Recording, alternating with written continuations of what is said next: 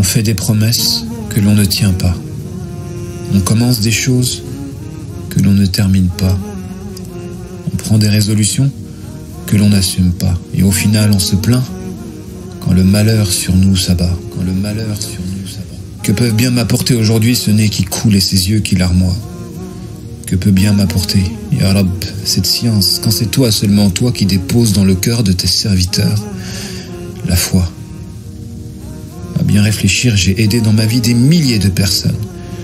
Mais j'ai échoué cruellement à l'endroit de ceux que j'aimais particulièrement, jusqu'à sombrer dans le désarroi. Jusqu'à sombrer dans le désarroi. Comme s'il fallait que je comprenne que je vive la croyance selon laquelle la guidée ou l'égarement est une affaire qui te revient de droit. Alors on fait les causes, on plante des graines et l'on souffre qu'elles ne poussent pas.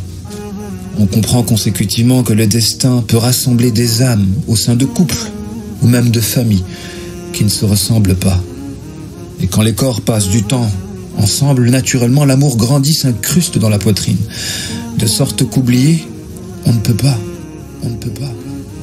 Ainsi, aimer une personne avec qui nous ne sommes pas en phase est une épreuve à laquelle on n'échappe pas.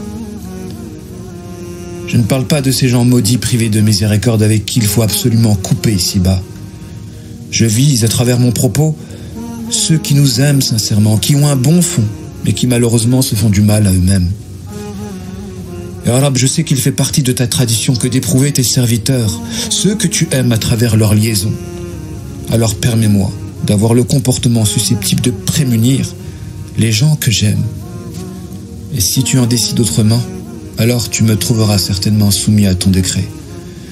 Repentant, le cœur sensible probablement meurtri, mais le cœur rationnel habité par l'idée que tu es un Seigneur plein de miséricorde, qui ne déçoit pas, qui ne déçoit pas, qui ne déçoit pas.